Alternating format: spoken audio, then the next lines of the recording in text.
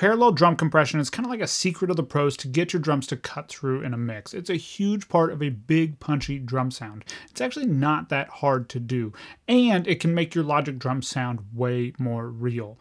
Welcome back to the band guide. I'm your band guy Colin. This is the third video in a four-part series of how to make Logic drums sound more real. And if you haven't been following along, first of all, I highly recommend you go back and start from the beginning because it's going to help out a lot. It's going to make a lot more sense. And secondly, let me show you what we're doing in the series so you know that it's actually worth your time. We're taking our drums from sounding like this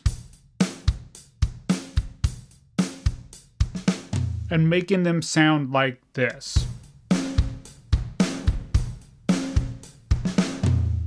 Way more realistic, right? Now, parallel compression is a big part of this, but ultimately it's just one of a bunch of little steps that are adding up to giving us a much more realistic drum sound. So instead of making you just memorize a bunch of stuff from this video series or having to keep coming back to this video series, which would probably be good for the channel actually now that I think about it, but instead of that, I've put together a completely free checklist that goes through all these steps that you can just quickly reference back to anytime you're working on your drum mix.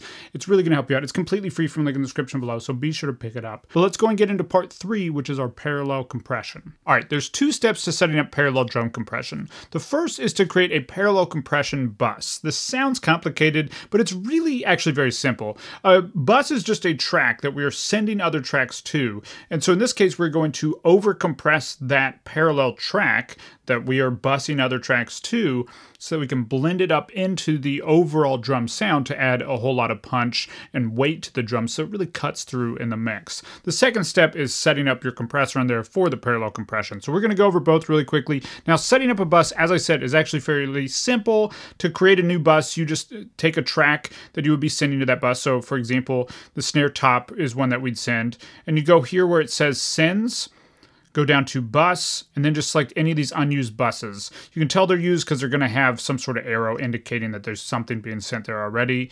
We're going to go to bus 4. And then you see over on the right side, it's created this new track for us. And we can see at the top it says bus 4, so we know that's receiving sound from this send. We can now turn this knob to affect the amount that we're sending over that bus. So you can uh, you just send a little bit or you can send a lot. I tend to just go ahead and hit option and click and it's going to send the full amount to that signal.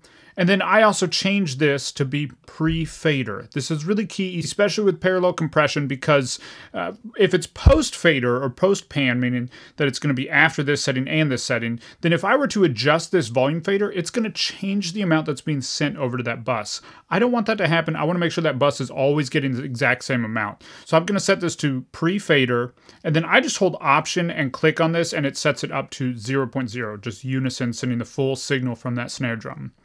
So that's the way you would create the track, and then you can come over here and title this something like pcomp for parallel compression. Go over here, set up a compressor, and we'll go through how to actually set this compressor in just a second. So that's how we would create a bus. Now, because we're using the SoCal preset, they've actually created a parallel compression bus for us. They call it Punch, and it's right here. And you can see, if you look at the top of this, it says bus one. So we can look over here and see that the kick drum is already being sent to that. So the way you typically set up parallel compression is you send all of the drum shells to the parallel compressor, meaning your kick drum, your snare drum, your toms. You don't send the rooms and the overheads and anything that's really getting the cymbals or the overall drum sound. You just want those close mics from the drum sound, and we're going to over compress those and blend them up in. So the kick is one that I would definitely send. So I'm going to go ahead and use this parallel compression track that they've already set up, this punch track, as our bus. So we'll just be sending to bus one. I'll go ahead and delete this track so that we don't get confused. And then let's set up a send from these other tracks. So I would send from kick in, which it's already doing. I wouldn't actually send from kick out. If we listen to that in solo, this is kind of like just a sub kick, just like the super low end. So I don't need that to go. I don't need that to be extra punchy. Super low end like that has a lot of uh, energy, so it just gets messy really quickly. So I'm going to send the snare top. I'm going to hold command on the keyboard so I can select multiple snare bottom, the tom high, the tom mid, and the tom low.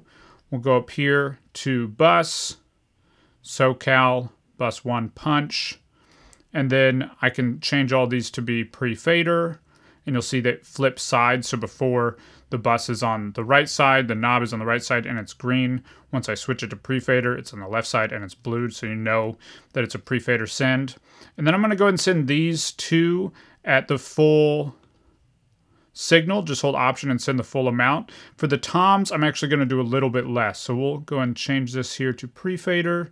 And then I'm just going to do something more like this. You can set the same level if you select multiple tracks. It will adjust multiple at the same time.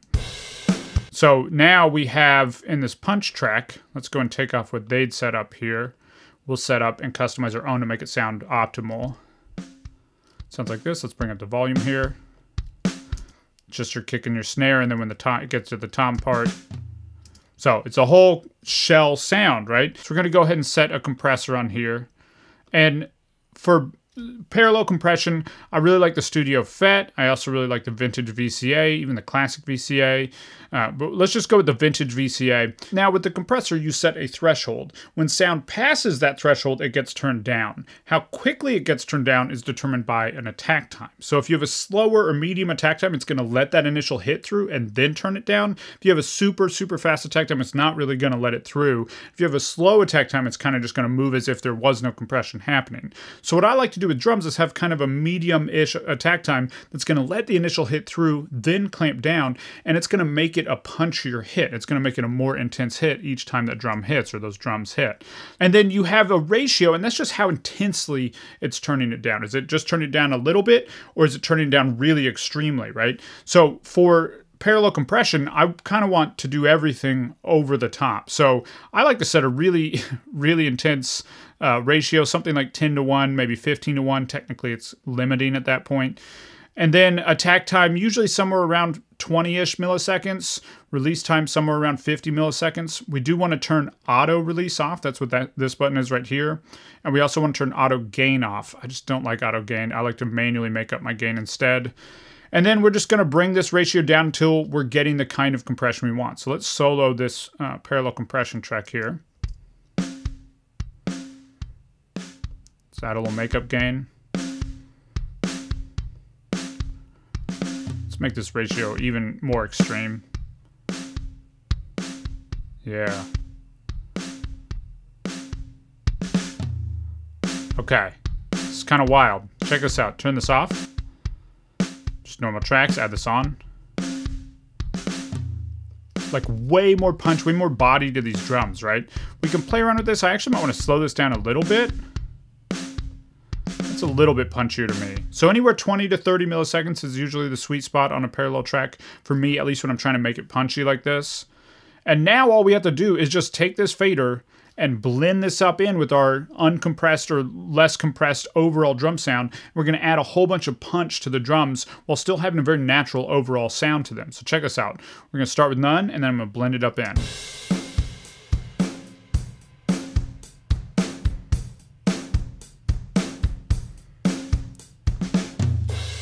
This off, back on, I'll exaggerate it a little bit more. Here's off, back on. Way more punch to those drums, right?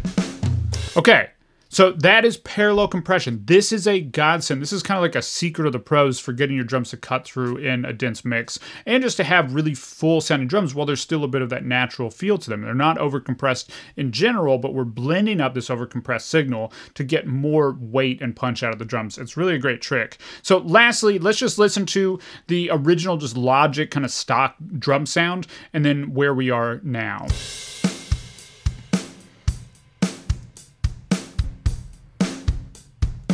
Way more natural sounding. Yeah. Okay way more natural sounding already. In the next video, we're going to start dialing in some realistic space around these drums to make them feel huge and add some depth to them. Now, before you go, be sure to grab the Make Logic Drum Sound Real checklist from the link in the description below. It's really going to help you out. It just walks you through all the little steps that we're doing because none of these are huge things. They're all little steps, and you got to do all of them to get to this end result if you want a really big, realistic drum sound. It's completely free from the link in the description below. It's really to help you out. Just make sure that you can go through all these steps without having to keep coming back to this video series. I'd love to hear from you. Have you been doing parallel compression in any of your mixes on drums or on anything else? Let me know in the comments below. If this video was helpful, be sure to like, comment, subscribe, and I'll see you next week when we're going to create realistic space around these drums.